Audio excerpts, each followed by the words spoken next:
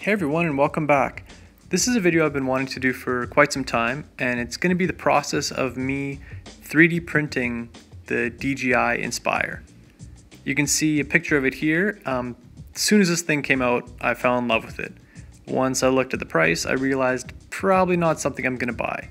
I have a few of these quadcopters and tricopters and whatnot and this one was just too steep to uh, warrant what was in it. But I found something. I found a guy named uh, CDR Skull on Thingiverse, and his website, I think this one is diyrc.co.uk.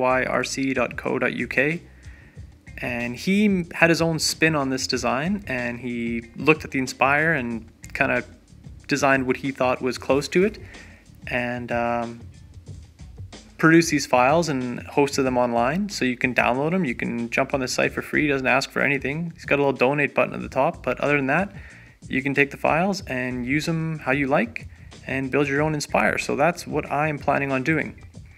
Uh, it's quite a big project, tons of printing. So I started the printing. I ordered the carbon tube and some of the other stuff that comes with it. And uh, so let's see what I got printed. Here you can see what I've been working on so far. Uh, it's all just black PLA. Um, the part this part specifically is one of the parts that the carbon tube comes into at one angle and then branches off at another angle for the motor supports. Uh, comes in two halves. I printed this one with support, didn't need support, but I'm not in any time rush for this project to be finished, so doing everything the best I can. Um, so yeah, quite a bushel of parts. This is probably three continuous days of printing. I print day and night. Um, just why not? Printers don't care when you're sleeping. And uh, so let's uh, let's take a look at the Orca, which I print everything on. This is my uh, Orca, well it's not my Orca design, but it's the uh, Orca. It's a really old printer, but I fell in love with it, started printing with it, and now I've kept it for two, three years and haven't upgraded because it does everything I need to do, and the modifications I made to it, it, it works great. Uh, it's all aluminum and steel and printed parts, and it's come on a few trips with me, and anyways, great printer.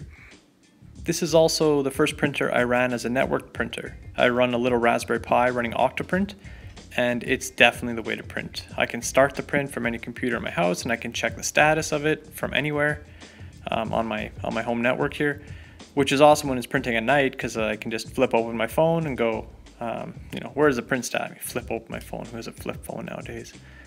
But uh, anyways, super convenient. And the heated bed on this one is actually a dumb heated bed. It's just some power resistors connected to that big aluminum plate. It only gets up to about 70 degrees, so it, it works perfectly. Um, beside it, you can see my Tantillus. I'm starting to rebuild uh, to make it match this one. And all the printed parts, the tripod that's in the way. That's probably only half the parts we need to print, so I got a lot ahead of me yet. And my little dexterized milling section of my, my office to keep the uh, chips from getting everywhere. But I'll shoot another video on this because there's lots, lots to be said about that new milling machine I got. Anyways, I will keep printing and I'll shoot an update video when we got more parts made and we will go from there. So thanks everyone. Bye.